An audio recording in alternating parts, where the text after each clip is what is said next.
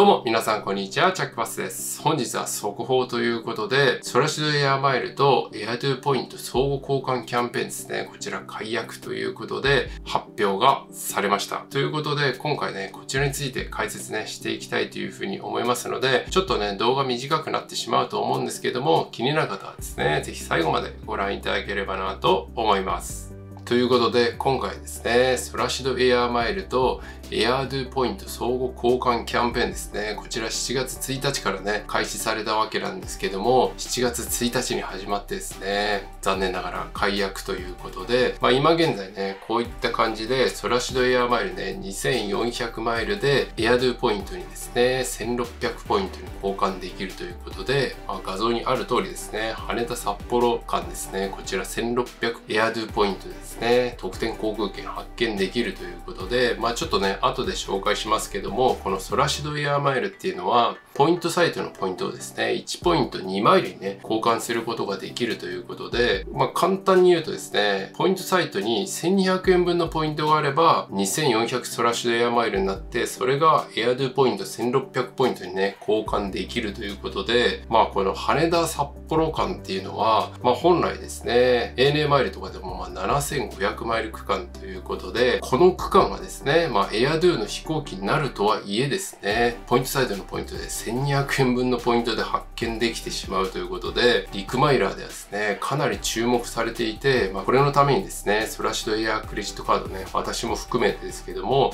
発行された方もね、多いと思うわけなんですけども、先日ね、公式サイトにこちらの文言がね、追加されました。えー、2021年8月9日申し込み分より V ポイントから交換されたマイルはエアドゥポイントへの交換は対象外になりますということで、今後はですね、このスラッシュドエアーのね、マイルから、このエアドゥポイント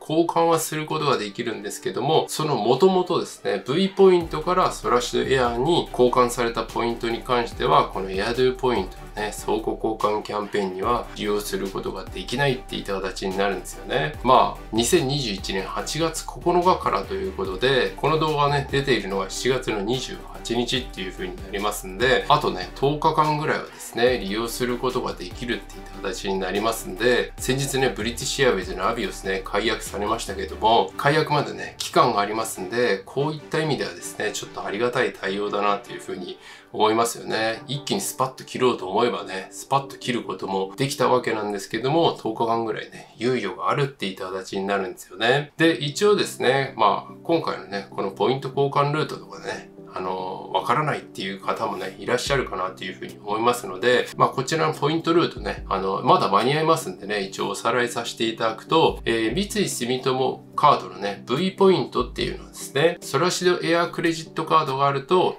1ポイント2枚にね、交換することができるんですよね。で、この三井住友カードのね、V ポイント A はですね、ポイントサイドからポイント交換がね、できるっていった形になりますんで、ポイントサイトにね、1万円分のポイントがあれば、1万 V ポイントになって、2万マイルにね、交換することができるっていった形になるんですよね。で、この2万マイルにね、ソラシドエアマイルね、交換することができればですね、今回のキャンペーンですね、え、利用している方であれば、羽田札幌間ですね、8回搭乗できるんですよね。まあ、回数にして4往復ね、この1万円分のポイントで利用することができるということで、かなりお得ですよね。まあ、ポイントサイトのね、ポイント1万円分どうやって稼ぐのかっていう話も、まあ、気になる方いらっしゃるかと思うんですけども、1万円分のポイントっていうのは、本当にクレジットカードをね、経由して発行していただければですね、ちょっとおすすめ案件ここら辺に出しておきますけども、まあ、こういった感じで、こちらの案件利用してもね、もう間に合わないんでね、あれなんですけども、こういった感じでね、1万円分のポイントを稼ぐっていうのは、そんなにね、ハードルが高いものではないんですけども、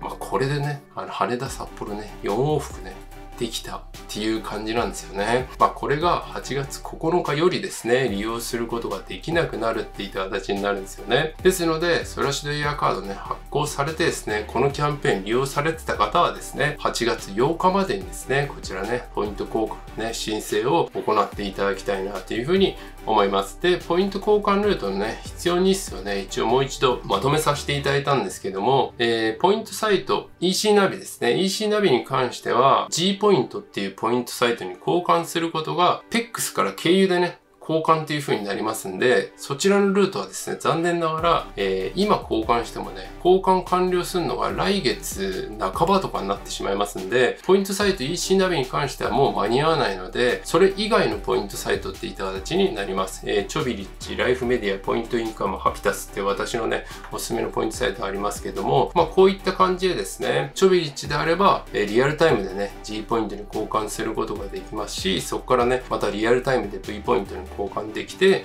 またそこからね、2日間でソラシドエアマイルね、交換することができますので、まあこういった感じでですね、必要日数がありますので、今ね、えー、こちらの動画が出てるのは7月の28日ということですんで、8月8日までね、トラッシュドエア前にね、着弾していればですね、今回のエアドゥポイントのね、キャンペーン終了まで、終了、まあ、解約までですね、利用することができますので、よくね、確認していただいてですね、結局、ストラシュエアマイルね、あの、8月8日までにですね、あの、間に合わないとキャンペーン乗れませんので、まあ、その点はね、注意して利用ね、していただければなというふうに思います。今回ですね、このストラッシュドエアとエアドゥのね、キャンペーンですね、塞がれてしまいますけども、まあね、羽田札幌間がね、1200円分のポイントだったということで、まあ、普通に考えてぶっ壊れた価格でしたよね。まあ、個人的にはね、塞がれてもね、おかしくないかなっていうふうに思っておりましたので、まあちょっとね、残念ではありますけども、しょうがないですかね。まあ今後はですね、ソラシドエアマイル自体もですね、未だに V ポイントから1ポイントね、2マイルで交換することはね、今後もね、利用することができますので、まあそっちでもね、かなりお得にソラシドエアね、羽田沖縄間もね、就航いたしましたんで、お得に利用することはね、間違いなくできるっていった形になりますんで、ソラシドエアのね、クレジットカード、このキャンペーンでね、発行された方はですね、今後ね、